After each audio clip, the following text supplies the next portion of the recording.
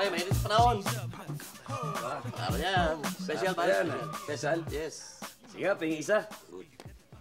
Sakto yan ngayon. Marami kami regado kumpleto to, pare.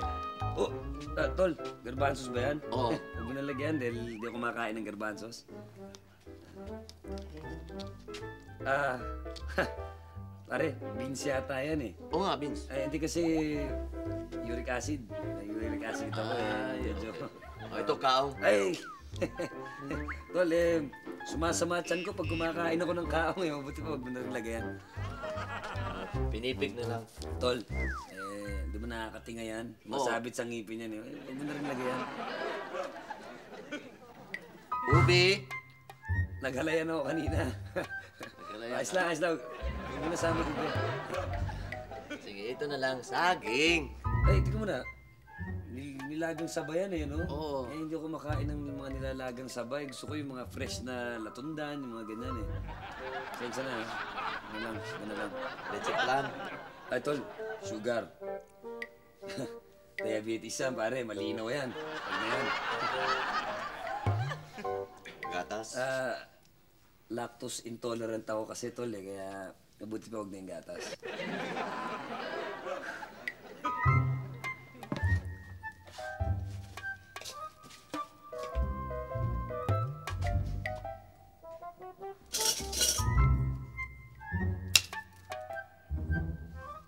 Yan!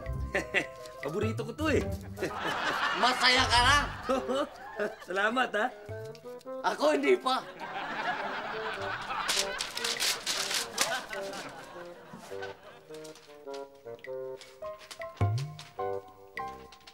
Ngayon, masaya na ako.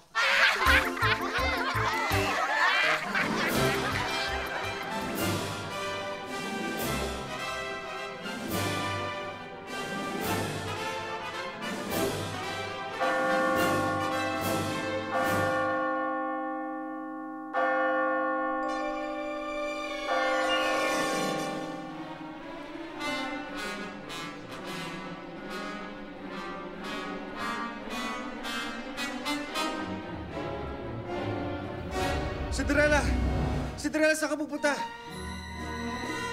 Cinderella! Naiwan mo to!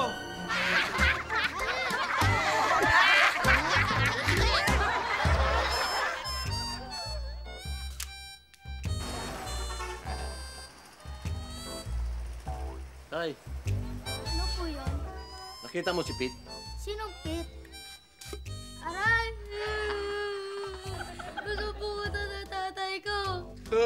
Takot, takot, takot, ay.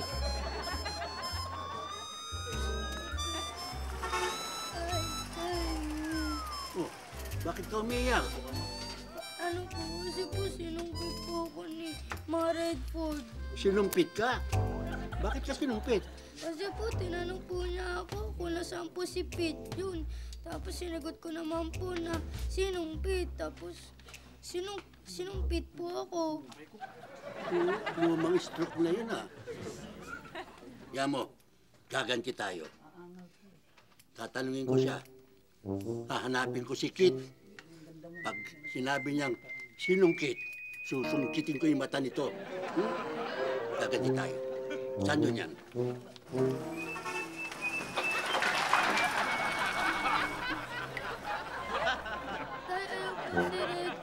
Yan ba? Opo. Manood ka. Gaganti tayo. Hoy, Ano? nakita mo si Kit? Oh, umalis ah. Kasama ni Pete. Sinong Pete? Uy, Hmm, Uwi ka na nga. Makapaglaro ka kay Tok. Sinuntok.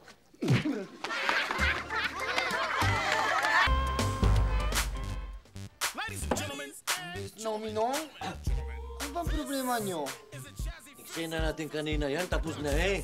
May amnesia ka. Pagamot mo yan.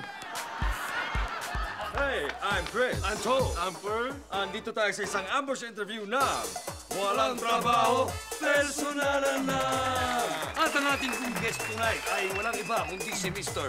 Redford White. Matanong namin kayo, bakit po ba red for one ang tawag sa inyo? Bakit po makulay masyado ang inyong pangalan? May red, may white. Ano po ba talaga?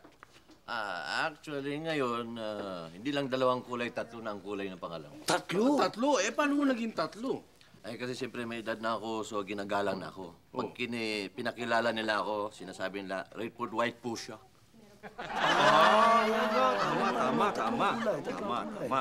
Ah, Ayan. si- ma- ma- mabalik ako sa pangalan nyo, no? Um, Redford. Siguro nung, ah, nung pinanganak kayo, ang sasakyan ng inyong magulang, eh, isang pulang Ford. Hindi kaya? Ah, hindi. Hindi galing sa sasakyan yun. Galing sa hirap. We cannot afford. Pero teka muna, ah, bakit ba red for white? Dahil ba sa blonde ka? Ah, kasi pinaglihi ako ng nanay ko sa birthday party. Birthday party. Oh, Bakit? Bakit ka pinigli sa birthday party? ah, bihon, pansit. Ah. Pero dati, may itim yan. May itim yan, may itim ako. Eh, paano ka pumuti? Nalaglag ako sa puno, una ulo.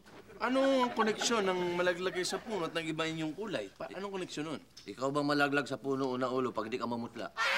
Hindi lang nagbago na to eh. Sigilan nyo na si Redford, ha?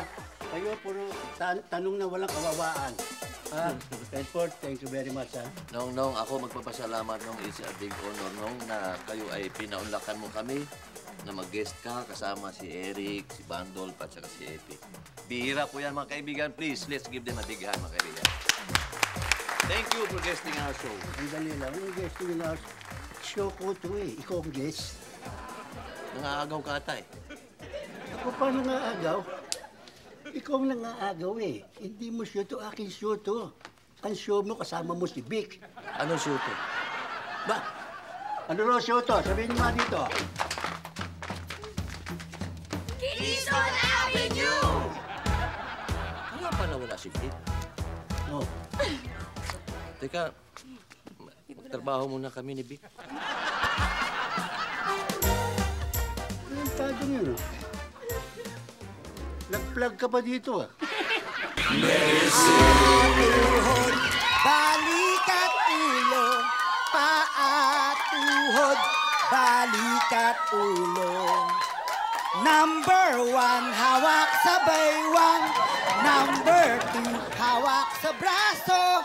Number three, hawak sa pisngi. Number four, hawak sa bukol. Saan niyo gustong ihagis ko? Okay!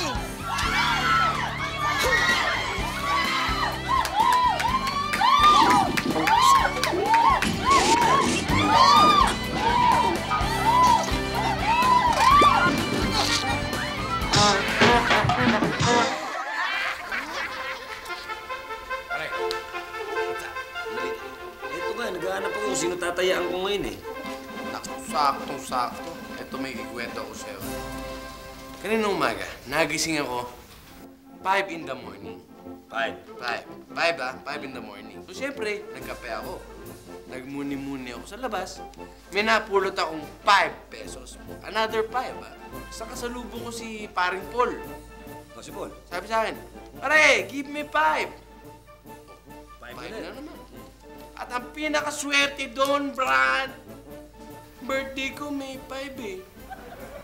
Five. Five ulit. Oh, di ba? Sino ba sa mga kabayo ang may 5 ang pangalan? Si Lucky Five. Oh, sino tataya mo? five. High five! High five! Sige, eh, magkano tatayan natin? Siyempre, 5,000. 5,000? O, sige. Pero Ano ba? tayo, bakas. Hati tayo. Sige, pero tatayan ko 2,500, muna. 2,500, ha? Ikaw Oo. muna tumaya. Dadaan na lang. Babalik na ako. Sagot ko, lucky five. Lucky five. Ikaw lang pala swerte ko. Give me five! Oh, ba't ang lungkot mo? Nangyari, tapos na ba kanina? Tapos na, no? Oh, asan yung kubra? Nanalo ba? Ubra, si Lucky Five, panglima. Ano bang oras darating anak natin? Dahil gutom na ako ha. Parating na yun. Nag-exam lang naman yun eh. Sabay-sabay tayo kumain.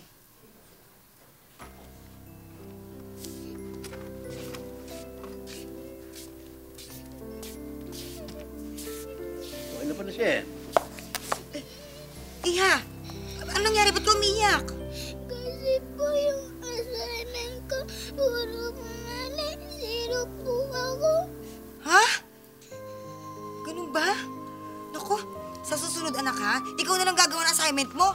Huwag ka na magpapatulong sa daddy mo.